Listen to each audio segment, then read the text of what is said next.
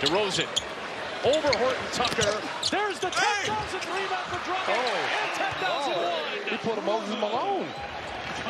Congratulations, Congratulations, to Big Cat. Andre Drummond. He has become the 43rd player in NBA history with 10,000 rebounds. This is um, this is hard work right here. Hard hat lunch pail, punching the clock. Big cat.